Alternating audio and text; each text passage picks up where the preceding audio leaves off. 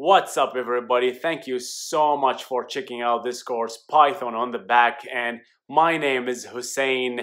Uh, I've been in the software engineering business for over 15 years, building applications all over the world actually. I've been in the Middle East, I've been in, in other countries as well. Uh, so I'm currently in the United States of America, build, uh, working with a company, building a lot of applications on. I have I have used so many languages. I've built a lot of applications, and I want today to share my experience with you guys about Python and uh, how far can you push this language all right so i want to use this video to uh, introduce myself first and uh, uh, also uh, talk to you about the importance of back-end development. So why, why, what is the difference between back-end development? What have, we, what have we been doing all these years, right? What have we been doing?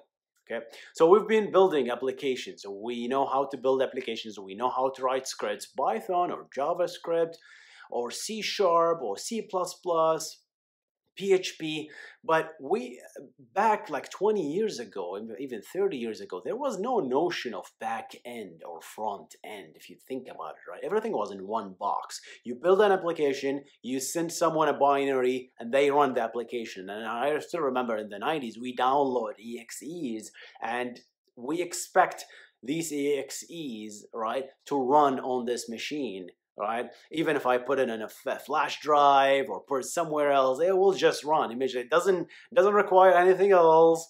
Uh, doesn't require to connect to the internet or do anything, right? It is a fully functional, self-contained application.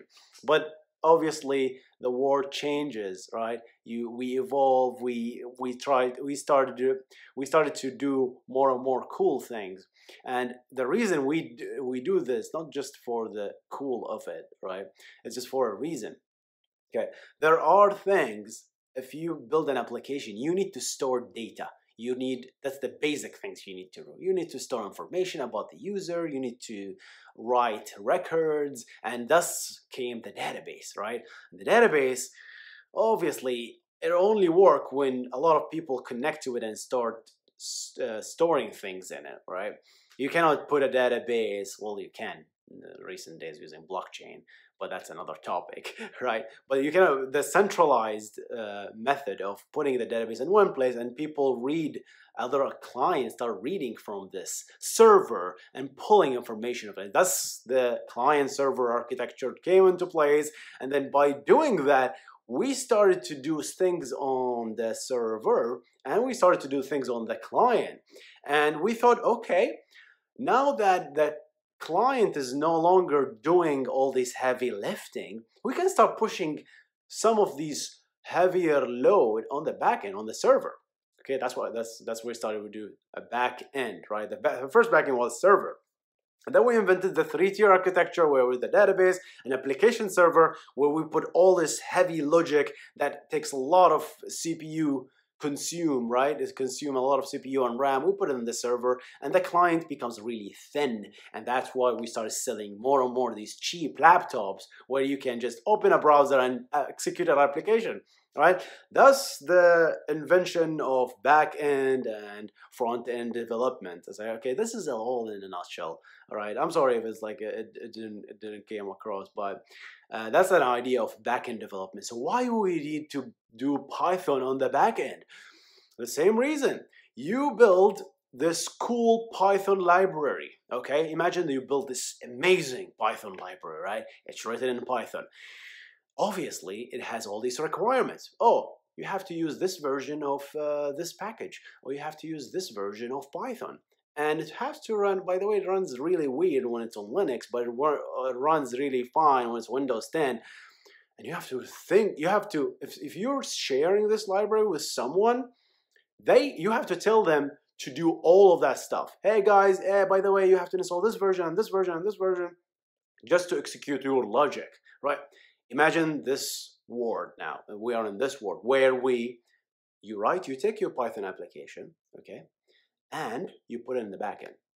What you expose is APIs. You expose endpoints. okay, through the HTTP, beautiful HTTP protocol, where we, every single programming language understand, understand get, post, and options, and all these cool things, header, and it is like a very well-defined HTTP uh, protocol, the Hypertext Transfer Protocol. It's really very standard, and everybody understand it, all browsers understand it, and then if you take your language and you teach it how to respond in, in the HTTP format, then guess what? All your applications just magically work, right? All the clients, the JavaScript can start using your library by exposing these endpoints. And we're going to show this in this course, how you do that, okay? I'm going to show you how to build all this stuff. We're going to talk about it in the outline though. But yeah, this is all this cool stuff, guys. We're going to build a lot of cool stuff. Uh, I hope you enjoy this course. Thank you so much for checking it out. I'm going to see you there. Thank you.